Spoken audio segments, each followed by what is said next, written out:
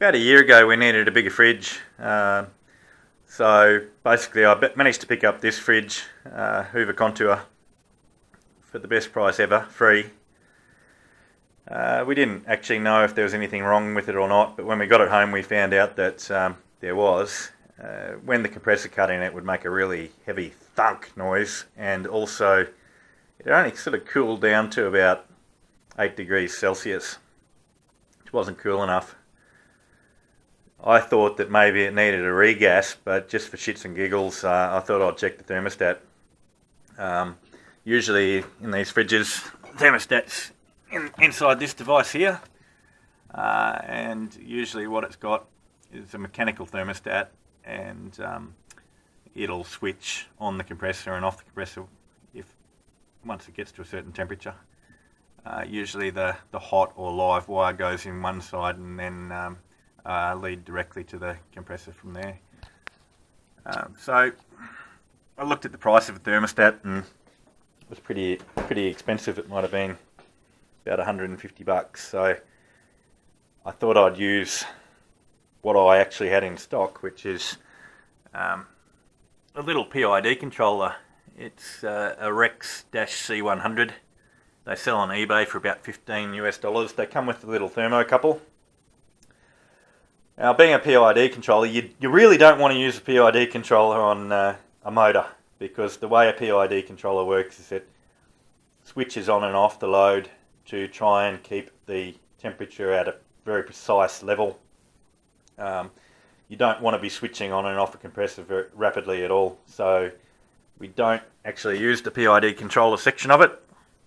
Uh, luckily on these units there's a alarm output and basically what that does is if you go two degrees above your set point it turns a relay on and uh, you know for a flashing light or, or whatever like if you were in an industrial process that's what it would be for but uh, I co-opted it and I used that relay output to switch the compressor on. So my set point's 3 degrees. When it gets to 5 degrees the compressor goes on. When it gets back down to 3 degrees, the compressor goes off. Had it for about a year now and um, doing this and it works perfectly. It's, it's really excellent. How did we do it? Well, first of all, we needed to find somewhere that we could drill into the side all right.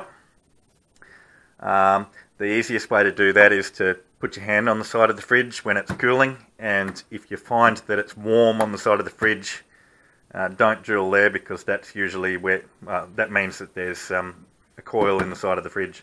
So you've got to find somewhere that you can drill safely. I got this small black plastic box and drilled a hole through. Got the the um, wires through from the thermostat.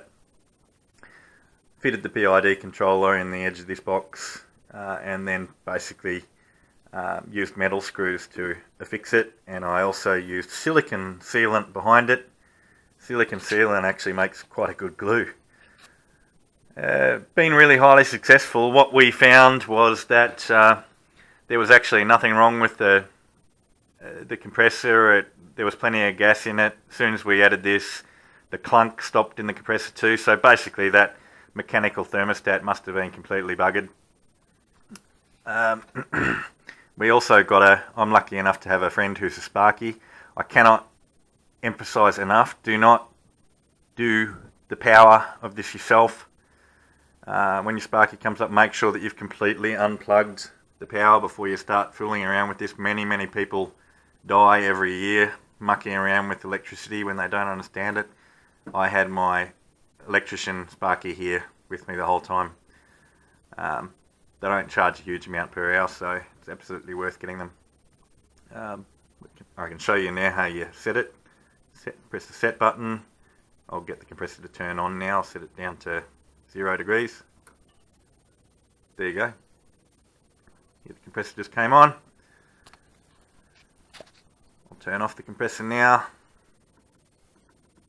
I'll set it up to about 7 degrees. And off we go. So that there actually shows the current value and that there shows the um, um, the set value. In the back of the fridge, you can see the thermocouple just there. we've run it into a little container of water. It just helps buffer it. Um, stops the fridge turning on and off when you open it. Yeah, been really highly effective. Cheers, guys.